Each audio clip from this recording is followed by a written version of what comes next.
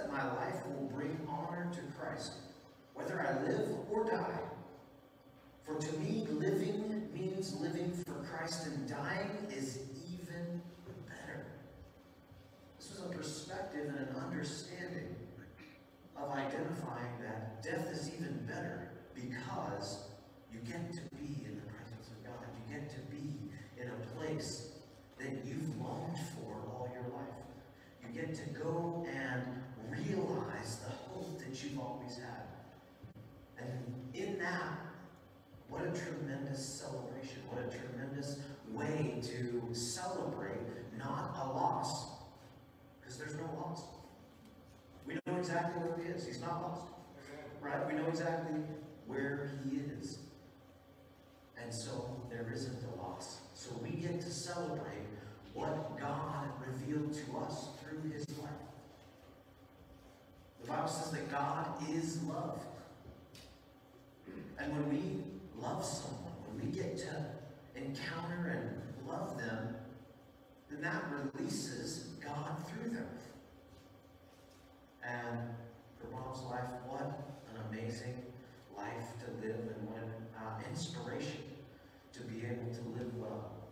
And there's a number of things that you, there's of questions in your life that you would never ask except through the process of death, through the process of what we're walking through right now. And if death was removed, there'd be certain questions we would never ask. And so, in this time that we're facing these questions and the emotions and the, uh, what we're encountering, we have this beautiful opportunity to celebrate the fact that we got to know Bob. We got to encounter things through his life that can inspire us in the way we live and can inspire uh, the way that we approach different things because of what we got to encounter. So uh, we just want to welcome all of you and thank you for coming. And we definitely want to work towards this celebration and this excitement because we're sad, of course. We're grieving, of course. But within that, what, what uncertainty is there when we see the kind of life that he was able to live? And, you know, to me, there's no uncertainty. To me, there's this wonderful opportunity that, wow, I can't wait. Like Paul, it's better in that place. But God left him here. Uh, there was a verse that was spoken of King David. He lived his life and fulfilled all that God had for him, and then he died. What a great way to live a legacy and to experience the fullness of what God has for you, and then you get to go home and be with God. So we welcome you, and we're excited about celebrating today. So Chuck, would you come up and launch us into this celebration?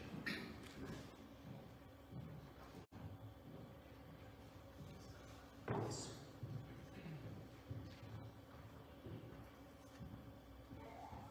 The obituary is read by the author. That'd be me.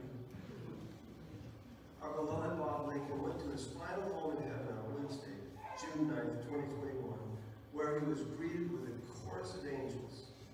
Oh, what a glorious greeting it was.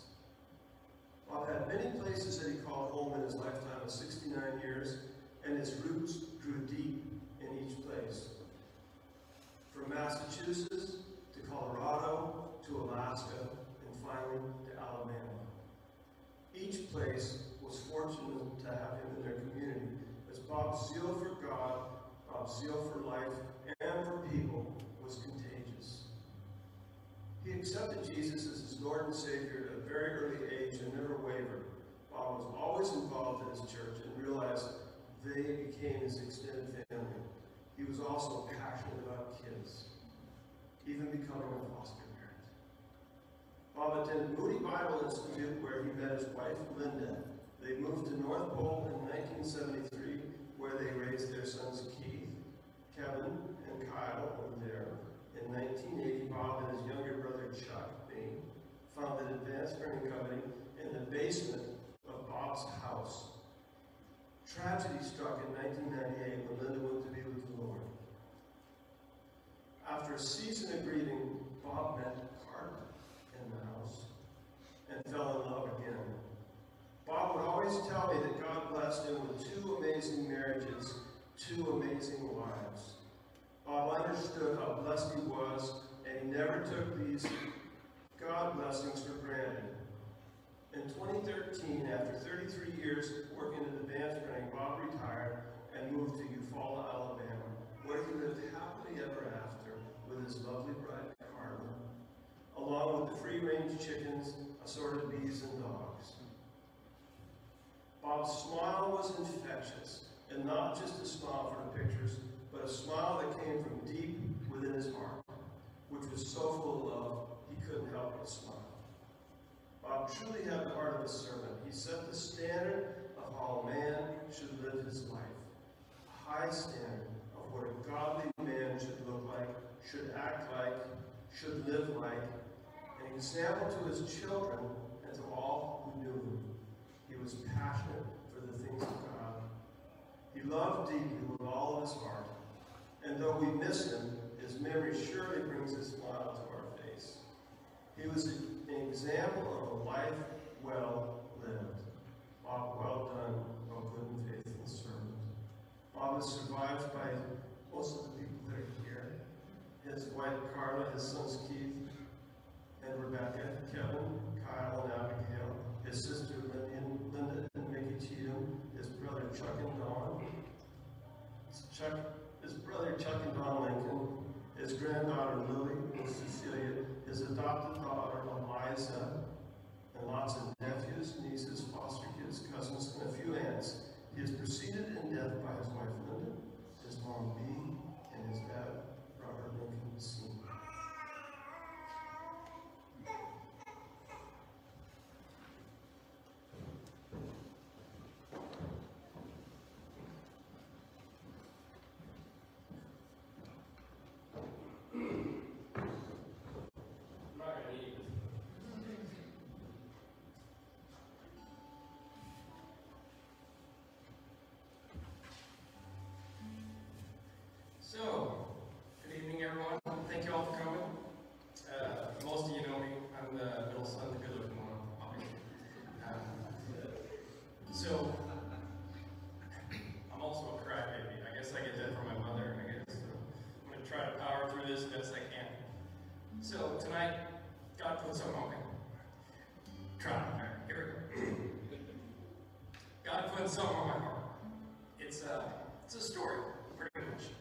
the story of me, my dad, our family.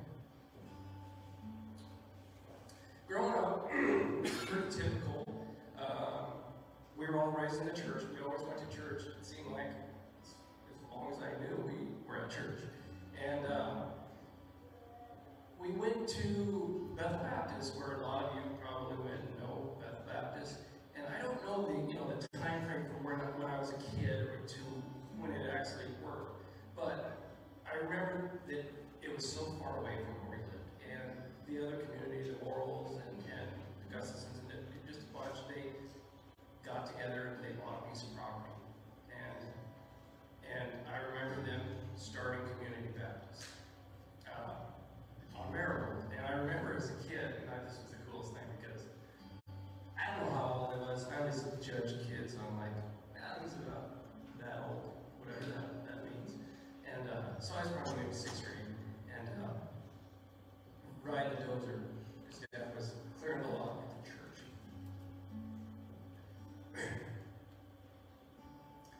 so growing up, you know,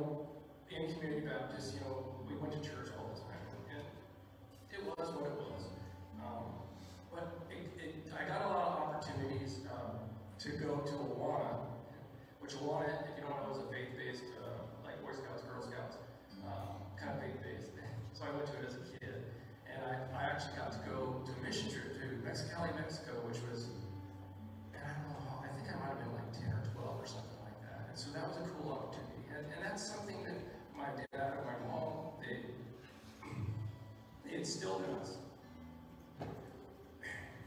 As you go older,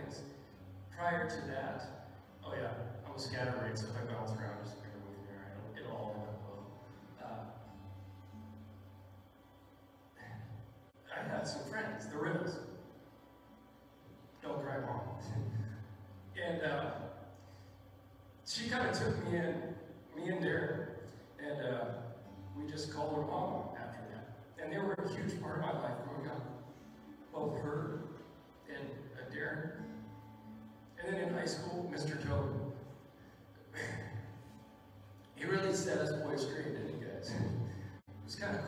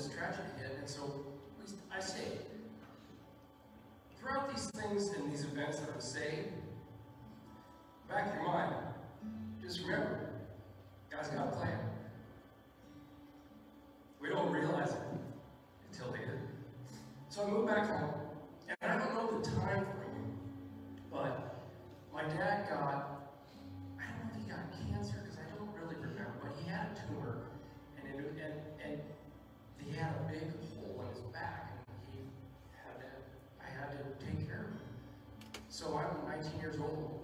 I'm already in the field. I'm already making money. I've got a great job. And I had to take care of him. Every morning I had to get up before I went to work and train, drain his back and bandages. So he got over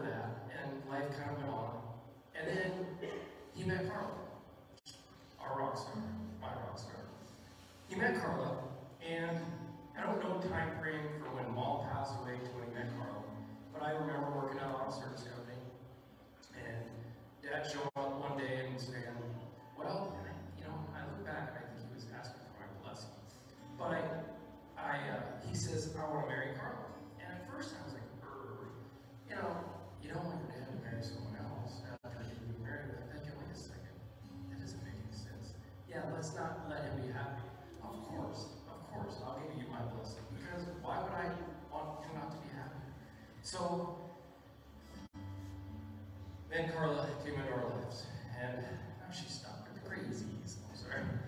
So Carla got into our life, and that was great, and that was great. And life went on, and we had all different things that, you know, that went on in life. I got married, Keith got married, Kyle got married, we all went on, you know, we just went on. I always went to church. I, I stopped going to community And uh, it was more my style, more like, my dad used to give me a hard time. Well, you can't wear shorts and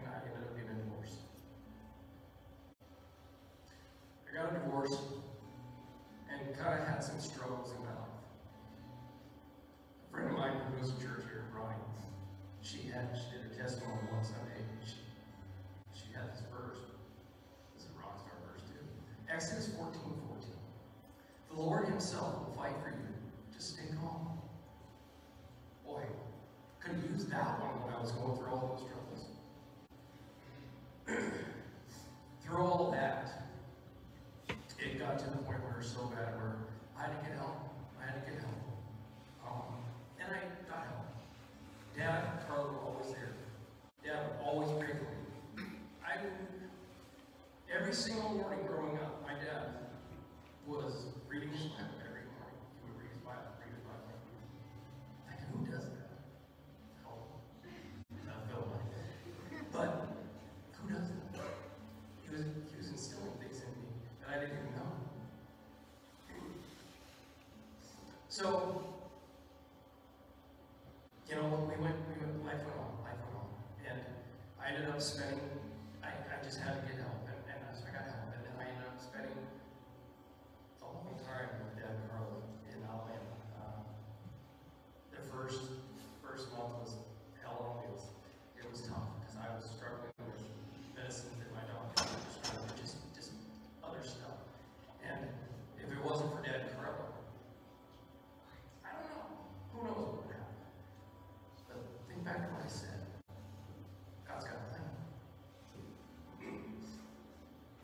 máximo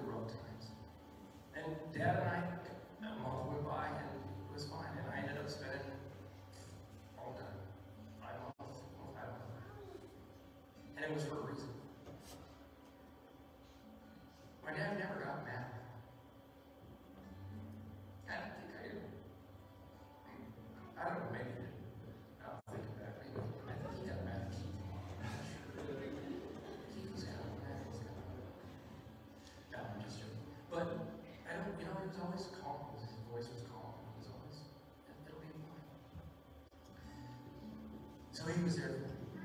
So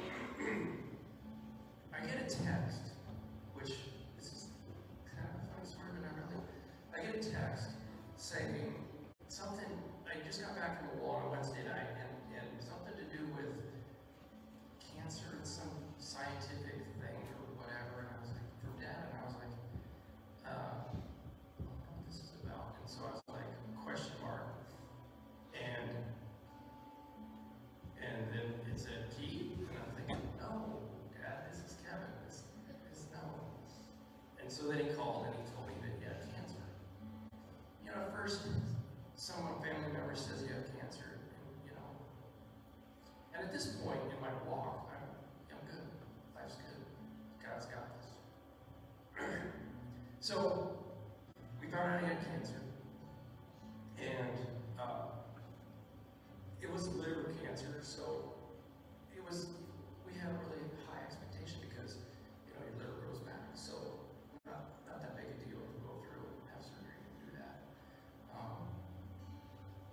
and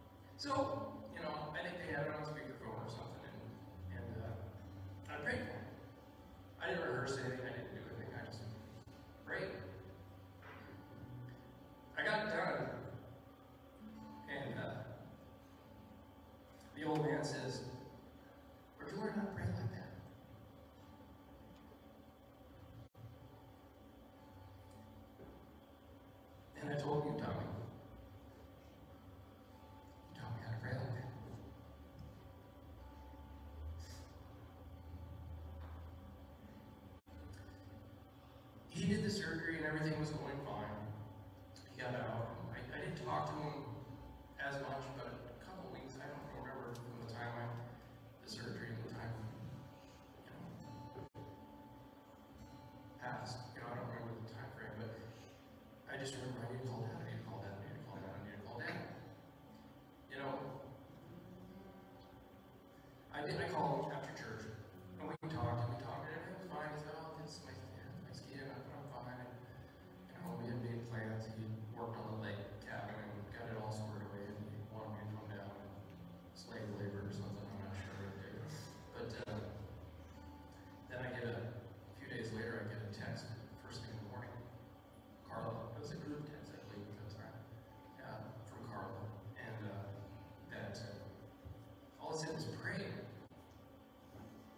something uh, dad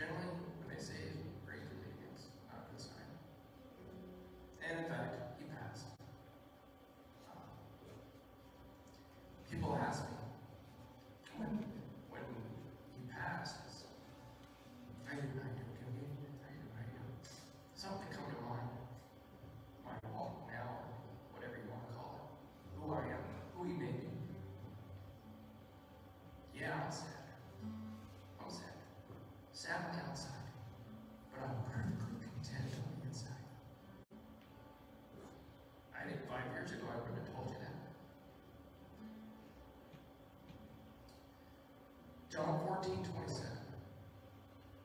Peace I le- leave with you, my peace I give to you. Not as the world gives, I give it to you. Don't let your heart be troubled, neither let it be fearful. You know, as believers, as dad, dad taught me, as mom taught me, as my family taught me, we ultimately know we're born, we go through life, we do the best we can. We're human, as Phil would say, Pastor Phil, I call him Phil. We're human, we can, we can only do so much. We just try to do as best we can. We try to be faithful. We try to love the Lord, love our family, and be good human beings. That's all we can ask. But in the end, we know we're going to die. Everyone dies. And that's just the way life goes. You know, it's sad. It is sad. I mean, I'm sad. I miss my dad.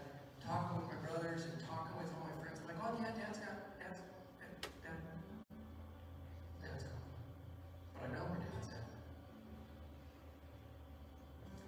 Last verse I'll read.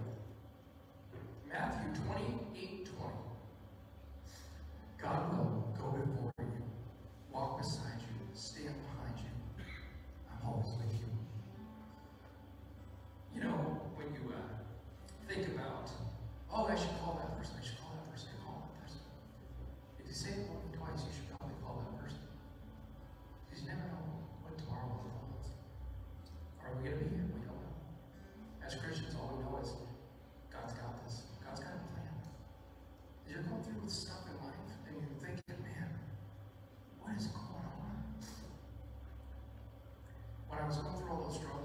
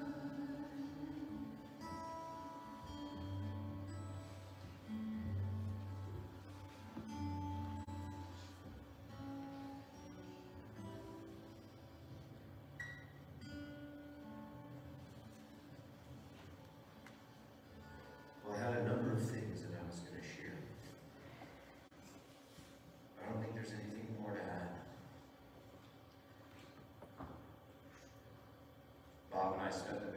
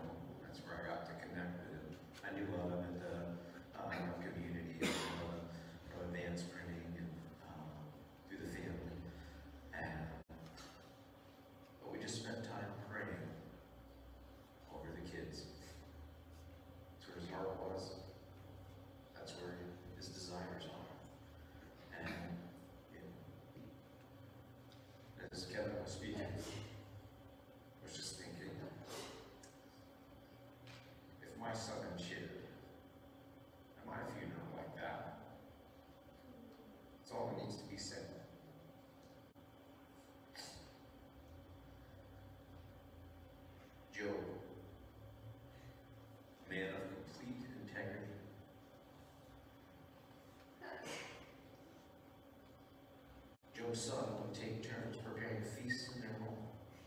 And they would also invite three sisters to celebrate with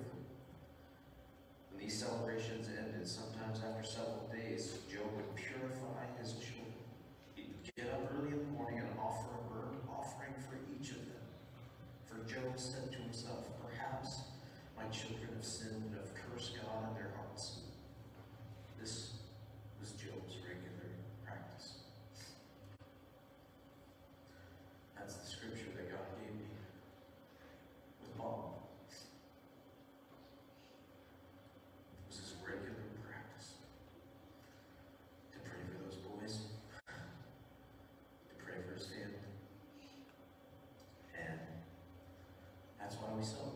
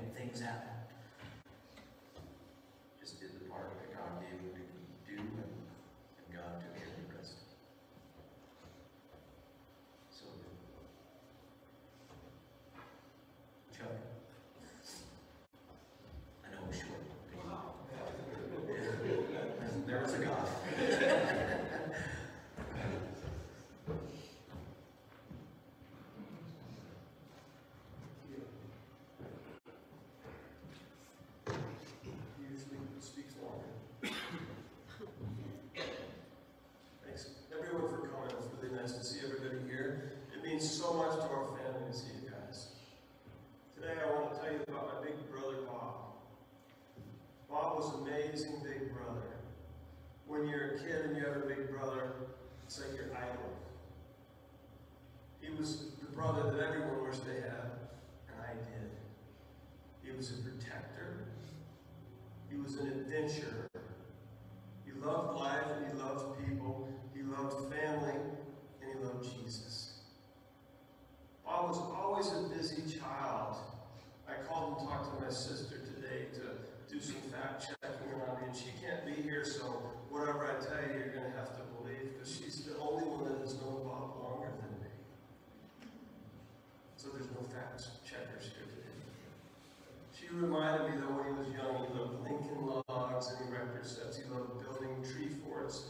riding bikes and building go-karts and riding them. Bob even learned how to ride a unicycle. He learned how to juggle, but I never saw him juggling while he was riding that unicycle. But I bet he could. As a kid, he was an amazing artist. He used to draw these pictures of trains, and I remember seeing those when I was a kid and thinking, "Hmm, that guy's good. He was really active. He was athletic. Bob had a whistle that I envied. Has anybody ever heard anybody whistle really loud? Bob could whistle really loud. And I envied it until I finally learned how to do it myself, and I demonstrated, but my wife won't let me. Sorry. He was really athletic. He was involved in sports in the school. He was like the track team manager, so he had a red letter jacket. Bob broke his collarbone seven times. Hmm. At one time, he had them both broken. I don't know if you've ever broken a collarbone, but there's not a lot they can do, so they just take you up and, and it hurts. Bob was an all-American boy. He was five years older than me, and all I ever wanted to do was to hang out with Bob. He was the coolest. And he sometimes me. The time I remember, I was about 10 years old, and he took me to the movies. Oh man, this was exciting. It was huge. He said, get whatever you want at the concession stand. This was a long time ago. A long, long time ago. So what they had at the concession stand, they had something called jungle juice. It was like some weird fruit punch. And they used to, get this, they used to sell dill pickles at the concession stand. So I got a dill pickle and a jungle juice. So we get back to the seats, we're watching the movie, and all of a sudden, I start to get a stomach ache. I mean, it really started to hurt. I told Bob, and he said, he said, Chuck, you'll be okay. Just watch the movie and eat your pickle. That was his last words to me. And so I did, and it didn't help. So we stayed through the entire movie because it's really hard when somebody wants to watch a movie and somebody's saying, You shouldn't have eaten that pickle. The next day, my mom had to call the doctor. So the doctor came by. Back in those days, they made house calls. He comes and he pushes on my belly. And I just scream. I had appendicitis. Now, Bob told that story to Carla, and he, and he would always tell her how bad he felt. He never, I don't know that he ever apologized to me, so thank you for sharing that with me. Bob was a Boy Scout. I was a Cub Scout. We both took NRA classes. Our dad was a big, he was a, uh, he loved guns, he loved NRA, he loved all of those things. He was actually went to Trinidad Junior College to become a gunsmith. That was his dream, and Bob kind of loved that too. Bob was 18 years old. He became a distinguished expert, which is the highest level awarded by the NRA. In high school, Bob had the coolest cars. So he's five years older than me, so figure he's 17 and getting these cars. So 12, 13, 14.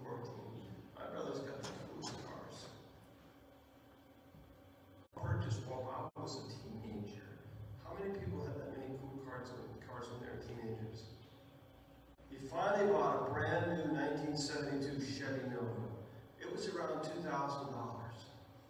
Once he had that car, he thought he could get married, so he did. Then he got married, and his cars went down. Next car he got was a Datsun B210. But then after that, he moved down to a Ford Fiesta. I think it was about the gas mileage.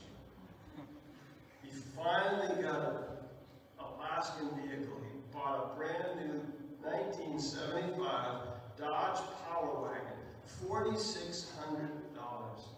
Man regained. Now, the cool thing about that truck is Travis still has it. Guys, if you want to see it, he's got it out back here. We drove that up. Bob was brave. He said, Chuck, I need a new truck. I was 17. I just turned 18. Out of high school. It's February. He said, I need a new truck. Bought it in Denver. He said, can you and your friends drive up? I said, sure. So we did. And it's still going. And that was in February that we drove it up, by the way. Also instilled in me the love of motorcycles, and I still have that. I still drive motorcycles. When I was about 14 years old, Bob bought a Honda 50. So not only did he have cool cars, he had semi-cool motorcycles. A Honda 50 is not that cool, but when you're 14, it's cool. Right, Tim? You probably still have one. He let me drive it around the yard. I was, man, that was exciting to me. I was immediately when Bob wrote, a picture of this, he has this red leather jacket.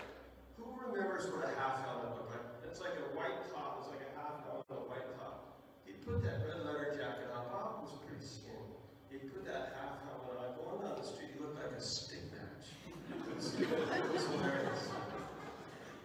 In 1973, Bob was called to Alaska to dri- deliver one of those red Dale campers that he'd built to North Pole, Alaska.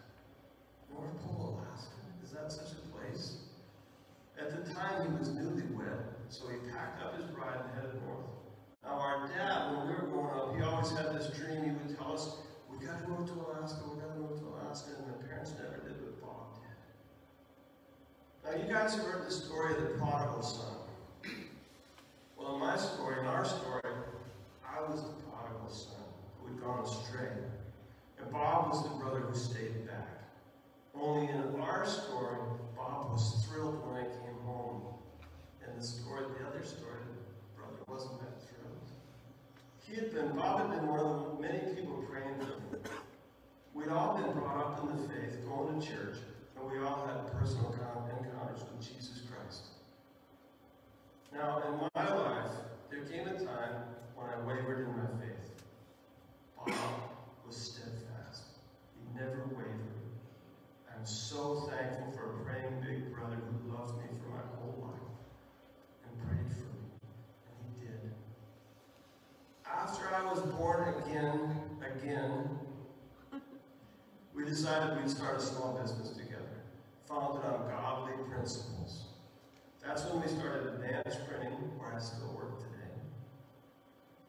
And we worked together for 33 years, from 1980 until Bob retired in 2013 to live the good life in Eufaula, Alabama. Now, when I would talk to people and say I work with my brother, they were just amazed. They said, How could you work with your brother? How have you not killed each other? I said, Because he's my brother. I love him. Not that we didn't fight. Uh, with Bob's, let's see, what Kevin said he never saw him angry. Mm. I would call it more of a righteous indignation. I think he may have been angry but didn't sin in his anger. Apparently not all big brothers get along, or all brothers get along. And go figure, because we did. He was an amazing big brother, and while I miss him terribly, I thank God that he was my big brother. John 11, 25 through 26 says, Jesus said to her, now Jesus was talking to Martha, the sister had just died. Jesus said to her, I am the resurrection and the life. The one who believes in me will live, even though they die. And whoever lives by believing in me will never die. And then Jesus said, Do you believe this? How I love you and miss you. At this time, we're going to open up the floor for anybody to come up that would like to share a memory of Bob. Anybody have anything they would like to share? Somebody must.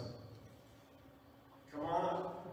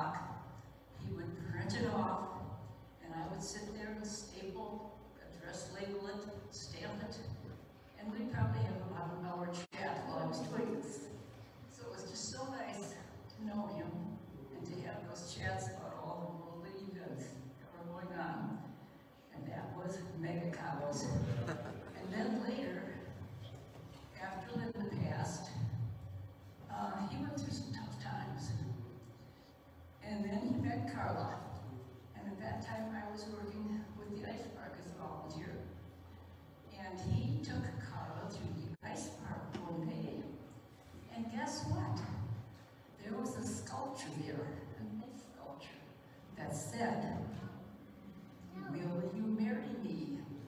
it's a pretty romantic proposal. Maybe not the warmest in the world, but it was a very romantic proposal.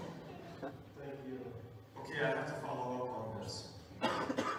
It said, he had a Russian carver do it. It said, Will you marry me? And it was spelled M E R R Y. and we all thought, Oh, that's appropriate. Maybe that's how we should then I'd forgotten about mega copies. So we owed Advance Printing, we started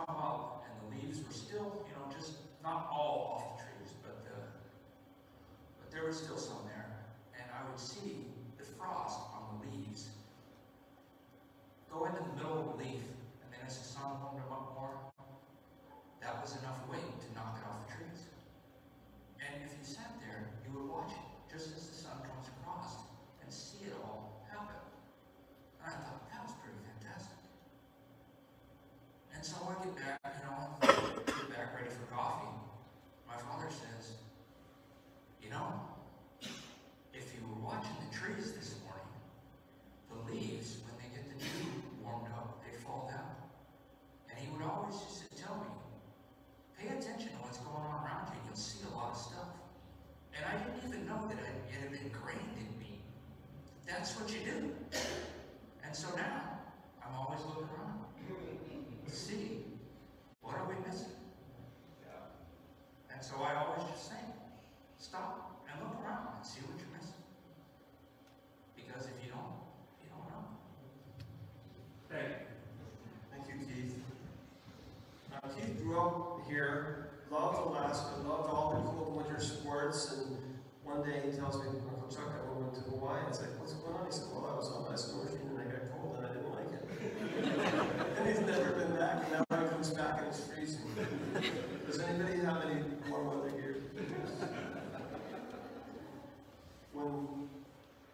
started the dance training. it was in Bob's house, and I can remember vividly sitting in Bob's office, and the boys were out, the boys were this big, they were out playing, and Bob had the biggest smile on his face, he said, this is what it's all about. And I wasn't married or had any kids, and I'm thinking, okay. now I don't have five. Anybody else like to say anything about Bob or any other family member? Come on up. You want me to come down? I can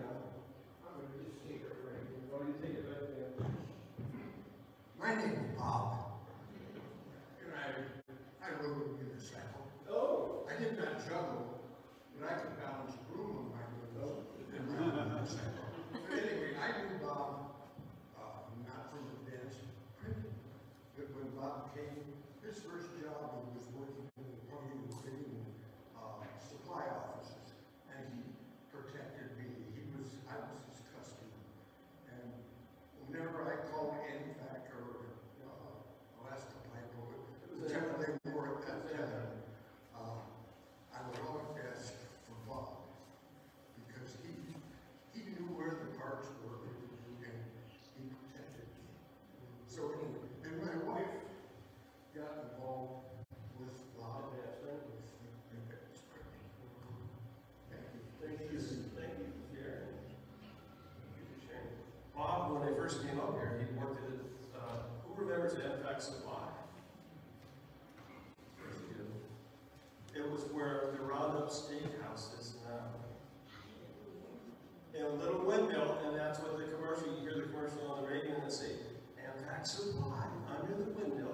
why I'm South Cushman, because South Cushman means different. You guys didn't know you were going to learn history about. Does anybody else have anything they'd like to share about love? Here comes Mr. Jerry Turner. So I met Bob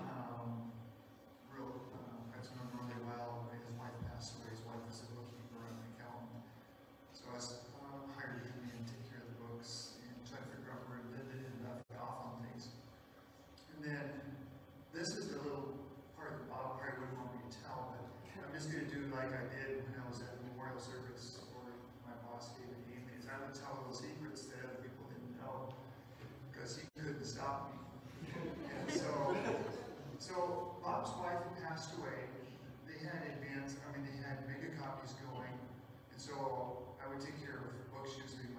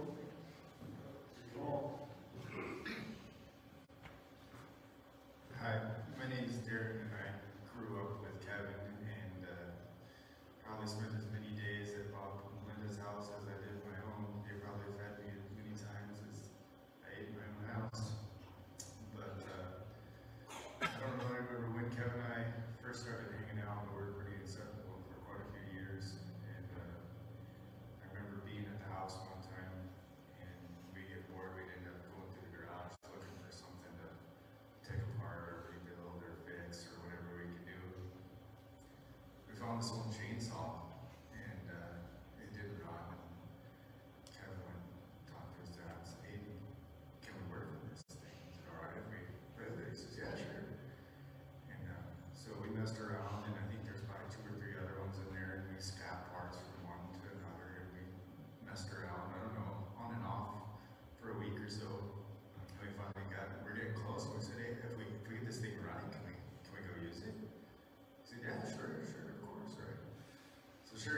somehow.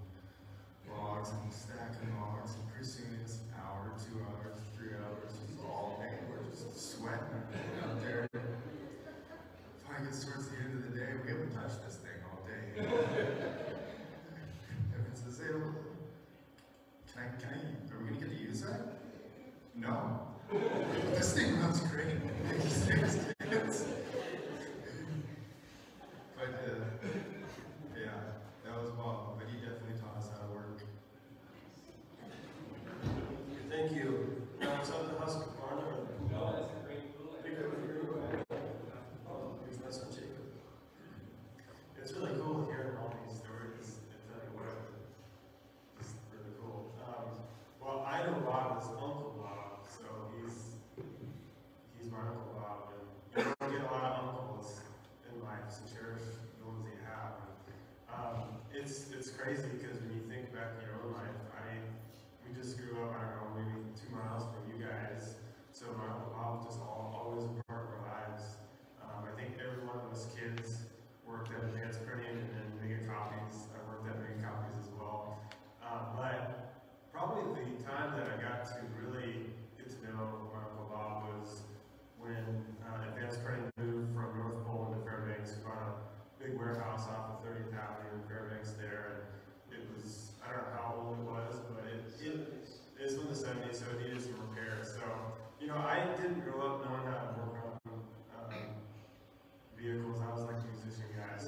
we got all that talent, and I guess I'm doing this. But, um, uh, but I got to hang out with my uncle, and we, we laid tile, and we did drywall, and I was just a high schooler, I think, at the time, um, just kind of unsure of myself. But I, I just say he was just such a gracious man.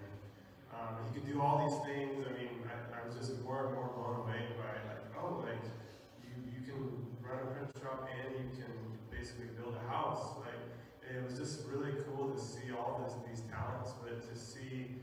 um, that graciousness like how he was patient with me as I didn't know what I was doing and he would give me tasks and I would do them. Um, but I guess probably uh, what's most impressive is just the work that he did with young people. So I guess going back when I was a kid,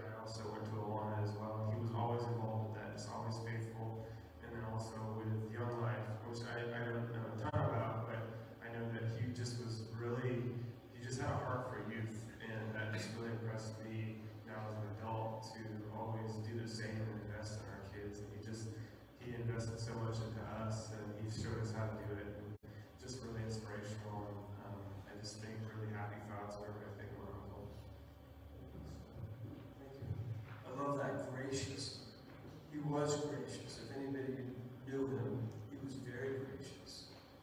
The other thing that was reminded to me when, when Bob first passed away, a customer came into the shop, and the customer was sadly here and said, when I think about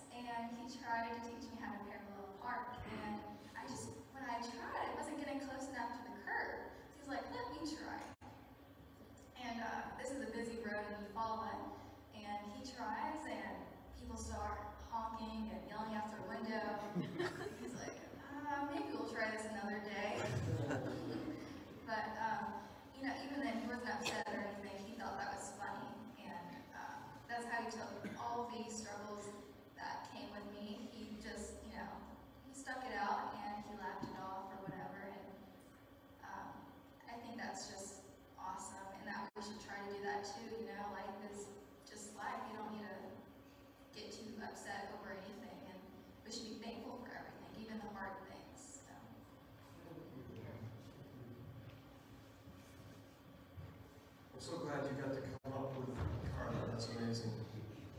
Thank you, Carla, for bringing Eliza. Does anybody else have anything to add? Dave, come on up. I'll hand it down to you. So, that's okay. I can to speak from here. Uh, just to follow up on Jacob's comment uh, about uh, Bob and Young Life. Uh, uh Bob was a very faithful uh, volunteer in, in, support of Young Life in Fairbanks. In fact, we had a uh, little prayer group was primarily Bob, uh, Rick Soley, and myself uh, that met, it feels like for years, uh, on a weekly basis, uh, praying for the kids at Fairbanks and North, North Pole. And, uh, Bob did all the printing that. that it was that, that was the context in which I was privileged to get to know him. Thank you.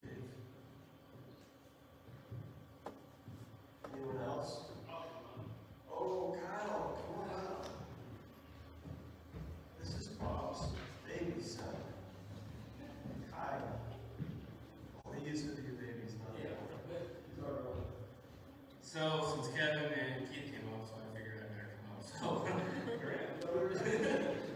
uh, things I remember about my dad. Uh, he bailed me out of jail.